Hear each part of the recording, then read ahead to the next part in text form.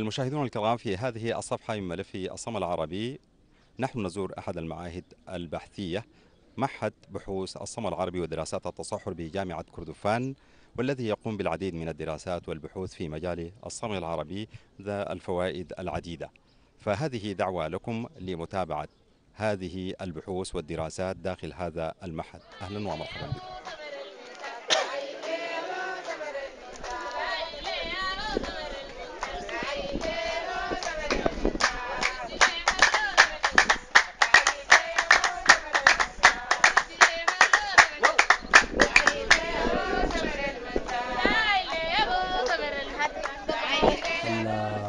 المعهد هو معهد بحثي شغال في آه، إجراء بحوث في مجال الصمم العربي وفي مجال التصحر والبيئه. طيب ال ال ال الأهداف الب- المعهد أنه إنشاء بحوث في مجال الصمم العربي والتصحر وبعدين آه، نشر هذه البحوث لجهات الصلة المختصة آه، ثم ثانيا التنسيق مع جهازات الصلة في مجال الصمم العربي والتصحر والبيئه والهدف الثالث هو يعني تدريب المتعاملين في مجال الصمم العربي وفي مجال التصحر والبيئة طيب ال- ال- الرسالة بتاعت المعهد أنه هو تعظيم إنتاج الصمغ العربي والريادة في مجال البحوث البيئية وفي مجال التصحر أيضا. طيب هذا المعهد يشتمل على خمسة أقسام رئيسية آه، تبدأ بقسم التغانات وإنتاج الصمغ العربي وده قسم كبير جدا جدا مهتم بإنتاج وزيادة إنتاج الصمغ العربي ومهتم بجودة الصمغ العربي.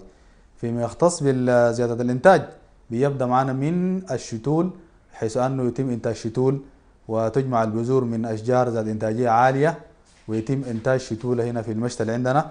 وبعد ذاك آه، بنوزعها للمزارعين في حزام الصمم العربي. ونحن سنويا هنا في معهد الصمم العربي بننتج شتول حوالي 10000 إلى 15000 شتلة ويتم توزيعها للمنتجين في حزام الصمم العربي بحيث أنه آه، نزيد الرقعة الخضراء وتساعد في زيادة إعمار حزام الصمم العربي وزيادة الإنتاج بالنسبة لشنو؟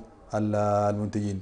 أيضا في جانب التغانات أيضا القسم ده يهتم بتطوير التغانات اللي بتؤدي إلى زيادة الإنتاج والمحافظة على الشجرة بدءا من التغانات الحديثة المستخدمة في الطق بنوري الناس التغانات الحديثة اللي تم إجازتها وسط البحوث اللي هي آه، استخدام السمك في عملية الطق وطريقة اللقيط والتجفيف بصورة علمية بحيث أنه يكون آه، نظيف وخالي من الشوائب وهكذا. هذا قسم ال- الإنتاج. القسم الثاني هو قسم الإرشاد والتدريب والتوثيق وده يعني برضه قسم كبير مهتم بالإرسال الرسائل الإرشادية للمزارعين وتوعيتهم بكل ما هو جديد ومستحدث في مجال البحوث الزراعية وفي ال- اللي هو نحن. وأيضا ال- ال- بيهتم بجانب التدريب والتدريب جزء كبير جدا عندنا قسم كامل هنا اللي هو قسم التدريب زي ما ذكرت انفا اللي هو يهتم بتدريب كل المتعاملين في الصمغ العربي من ابتداء من المنتجين وبنستهدف جمعيات إنتاج الصمغ العربي وجمعيات منتجين الصمغ العربي بندربهم على كل التغانات وعلى جميع الأشياء المتعلقة بالصمغ العربي. وأيضا بندرب التجار والمتعاملين والمتصدرين والمصدرين وكل الحلقات أو كل سلسلة الغيمة في مجال الصمغ العربي. ال- القسم الثالث هو قسم الدراسات الاقتصادية والسياسات. وبرضه قسم كبير مهتم بالدراسات الاقتصادية ودور الصمغ العربي والسياسات المتعلقة بسلعه الصمغ العربي. تعرفون إنه سلعة كبيرة جدا وتتأثر بالسياسات سواء كان. سياسة التحرير والسياسات الأخرى ال- التي تؤثر على هذه السلعه الكبيرة. آه، عندنا قسم ال- الدراسات التصحر والبيئة وده قسم برضه كبير جدا مهتم بالجوانب البيئية والجوانب البيئية لشجرة الهشاب طبعا من التسمية المعهد المعهد الصمغ العربي والتصحر ال- الكلام ده كله بيتربط عبر شجرة الهشاب هي شجرة منتجة للصمغ العربي عشان كده جات التسمية هي بحوث الصمغ العربي ثم ثانيا هي لها أدوار بيئية عشان كده جات التسمية بتاع أنه التصحر لأنه شجرة الهشاب هي شجرة يعني بتلعب أدوار كبيرة جدا في مكافحة التصحر ولها أدوار بيئية كبيرة جدا. هذا فيما يتعلق بالأقسام المعهد. المعهد له شراكات كبيرة جدا جدا وعلاقات منها العلاقات ال- ال- ال- ال- المحلية هنا اللي هي علاقاتنا مع كلية الموارد الطبيعية والدراسات البيئية وبنشركهم معنا في كل الدراسات وفي كل الخطط بتاعت المعهد. وأيضا لنا علاقات آه، أقصد بجانب بجانب الكلية عندنا علاقات مع كلية الغابات جامعة الخرطوم وكلية الغابات جا- جامعة السودان. آه، وعلاقاتنا دي علاقات قديمة جدا ومتطورة. آه، في جانب ال- الناشونال أو الجانب الريجونال الجانب الإقليمي اللي هو عندنا شراكات مع جامعات جامعات في إثيوبيا وجامعات في كينيا وجامعات آه، أيضا في كينيا عندنا المعاهد ال- أحد الغابات وكده. طيب في الجانب العالمي آه، ال- ال- المعهد عنده علاقة كبيرة جدا مع مع الجامعات العالمية اللي هي جامعة دريزن بألمانيا ابرزها اللي هو منها معهد ال- الغابات المدارية ومعهد اقتصاديات الغابات وعندنا علاقة مع جامعة جيسن بألمانيا وجامعة الراينفال. طيب في ال- ال- العلاقات إحنا نستفيد منها في شنو؟ في تبادل أكاديمي كبير جدا جدا بيننا نحن وبين الناس ديل. والاصطاف بتاعنا بيمشي هناك زيارات لتبادل أكاديمي. ومشتركين في جانب إجراء البحوث. يعني بنعمل بحوث على بيننا وبينهم بتنسيق. وبعدين بتنشر في مجلات كبيرة جدا عالمية في إطار الشراكة بيننا وبينهم. وإطار وبعدين بتعقد ورش يعني كبيرة جدا بيننا وبين شركائنا سواء كان العالميين أو المحليين. وورش يعني من آه، تهدف لأنه للترويج لهذه السلعة. وورش كبيرة جدا بتتناول السياسات بتاعت الصمغ العربي واقتصادات الصمغ العربي.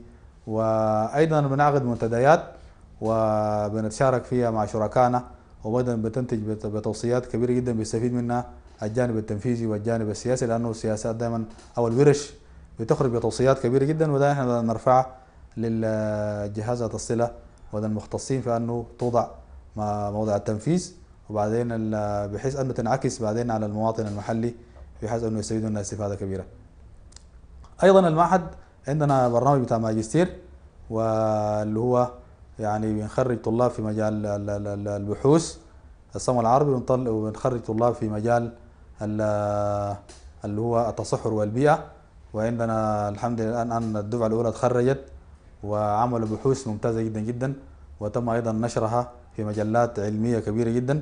دي ساهمت في أنه المعهد يكون معروف وكده. طيب في مجال ال- التدريب نحن كمعهد في الصمغ العربي الحمد لله بخبرتنا الطويلة بقينا معروفين جدا في الولاية وبقينا نقدم استشارات لكل المشاريع بتاعت التنمية الشغالة في مجال الزراعة وبالذات اللي لها علاقة بالصمغ العربي.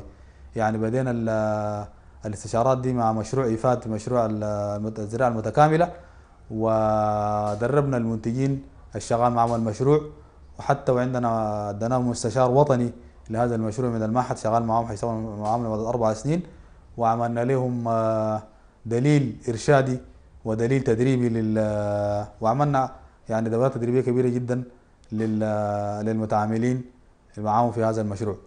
النجاح معانا ايفاد غادنا ل- ل- نحن هسي وقعنا آه، شراكة كبيرة جدا مع منظمة الفاو بحيث أنه ندرب ال- في مشروع الجامس آه، اللي هو الصمم العربي للتكيف مع التصحر والمناخ اللي هو حندرب المنتجين في تلا في ثلاث ولايات شمال كردفان وغرب كردفان وجنوب كردفان.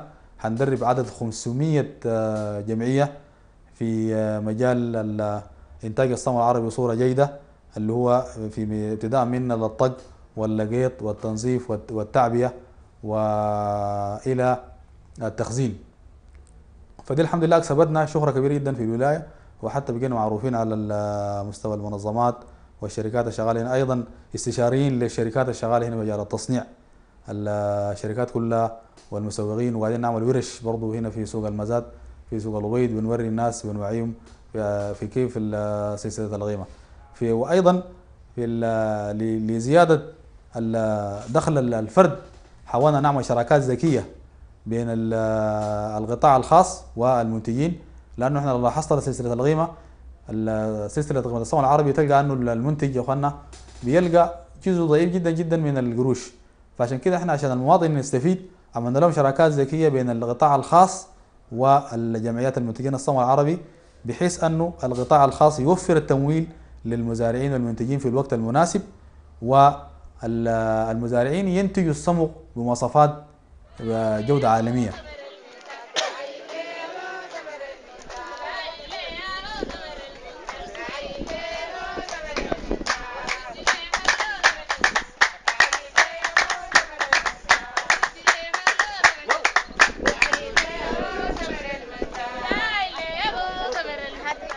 هذا المعمل اللي هو كان دوره إنه يقوم ب آه، اللي هي آه، تحديد أو تعيين الخواص المميزة للصمغ اللي بنسميها المواصفات.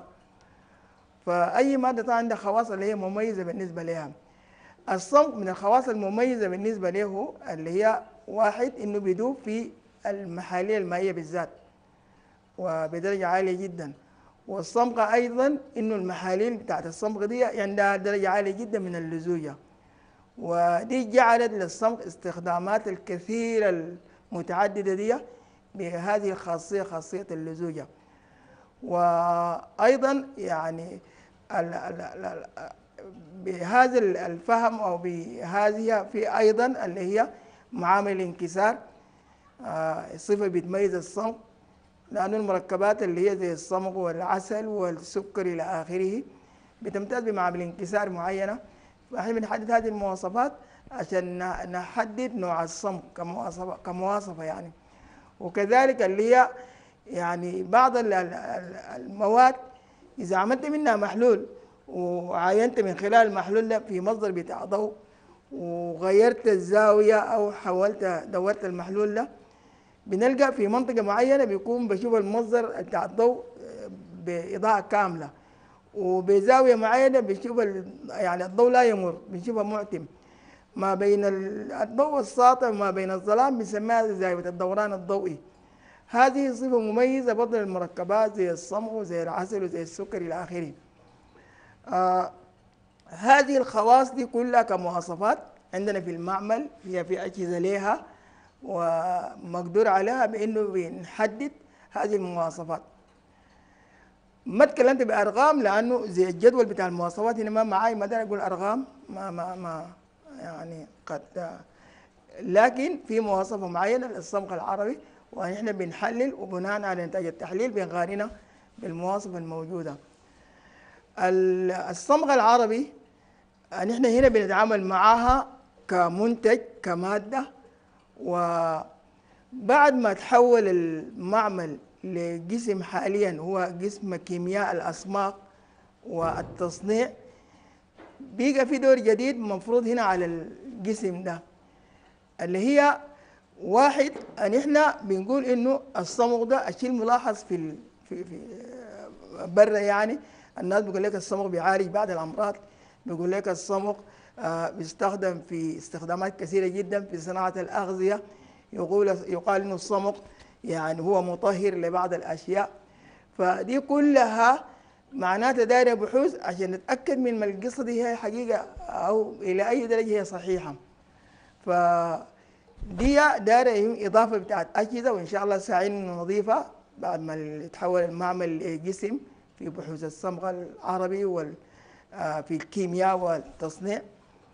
وأيضا ال- بنعتبر إنه مهام الجسم إدخال الصمغ ده في استخدامات جديدة. يعني مثلا إحنا عندنا غير الصمغ العربي اللي هو الهشاب والطلحة عندنا في اصماغ ثانية آه، أو في أشجار ثانية بتنتج اصماغ وما مستفاد منها مثلا زي شجرة المسكيت. فالاصماغ دي ما مستفاد منها لأن قد يكون فيها بعض الخواص الما مرغوبه مثلا. يكون الصمغ مثلا طعمه مر كمثال يعني. فيبقى إحنا دايرين الاصماغ دي برضه حنعيد الدراسة فيها والخواص الما مرغوبة بنحاول نعالجها عشان ندخل هذه الأسماق في دائره الاستخدام وإنها تكون مفيدة. وبالصورة دي يكون في أشجار كانت هي عبء على ال... أو الناس بيحاولوا يزيلوها يكون خلقنا منها فائده جديدة ودخلناها في هذه الدائره أيضا الصمغ هو يعني ما بيصدر بشكله الخام ده. المستهلك عايز الصمغ في صورة بتاع تصنيع معينة. إحنا بنتكلم عن معالجات بتاع التصنيع إنه يا بي بنعمل تنقية أو آه، آه، الصمغ يعني يقدم بصورة نقية أو بصورة نظيفة. أول صمغ ده بنحاول ندرسه بنخليه في شكل حبيبات أول صمغ بنحوله لبودرة. حسب الحوجة بتاعت المستهلك أو المستخدم لهذا الصمغ وحتى في نوع تاني اللي هو بنحل الصمغ والجزء المحلول ده بنحوله لبودرة رزازية. طبعا هذه البودرة الرزازية لأنه أصلا كان المحلول بيبقى اللي هو سريع الذوبان كله حيدوب. ودي كلها المراحل بتاع التصنيع ونحن مفترض إنه في النهاية الصمغ ده بدل نقدمه بصورة خام بالشكل الحالي المفروض نصنعه أكون نضفنا له قيمة مضافة زدنا قيمته ونفس العمليات دي الأشخاص اللي بيقوموا بالمسألة دي يكون جزء من كمواطنين سودانيين آه لقوا شغل يعني. آه مشينا خطوة ثانية إنه نحن عايزين نصنع مشتقات جديدة من الصمغ العربي. طبعا بفهم الكيمياء الصمغ ده هو واحدة من البوليمرات الطبيعية. بوليمرات طبيعية. يلا هذه البوليمرات الطبيعية ممكن جدا البوليمر أنا أعدل فيه. إحنا عندنا بوليمر مطاطي وعندنا بوليمر ممكن يكون يقاوم اختراق الرصاص. وعندنا بوليمر بدوب بالسخانة وعندنا بوليمر بيزداد صلادة بالسخانة. فبنفس الفهم ده ممكن ببعض المعالجات الفيزيائية والمعالجات الكيميائية إنه ممكن نحول الصمغ ده لمشتق آخر لمادة جديدة ممكن يكون استخدامات غير الاستخدامات المألوفة.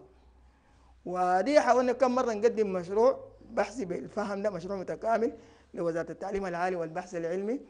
وزي مرتين كده ما يعني ما تمت الموافقة ربما للفهم بتاع الناس اللي بيجوزوا المشاريع دي. لكن السنة دي الحمد لله تمت موافقة للمشروع وهسه حنبدأ فيه. حنصنع مشتقات جديدة من الصمغ العربي. كل ذلك بفهم إن شنو؟ يعني إن نجعل من هذا الصمغ سلعة مفيدة جدا سلعة ذات استخدامات متعددة. و يعني حقيقة الصمغ العربي هو زي عنده استخدامات كثيرة. داير بحث عشان الناس تتأكد من هذه الاستخدامات عشان تطورها يعني حتى ممكن إحنا نقول من الصمغ ده ممكن في يوم من الأيام نصنع بلاستيك للتعبئة أو بتاع مستهلك في البيئة. لأن هسه واحدة من المشاكل بتاعت البلاستيك اللي هو البوليسيلين دي. في البيئة ما بتتهضم بتظل قاعدة إلى ما شاء الله.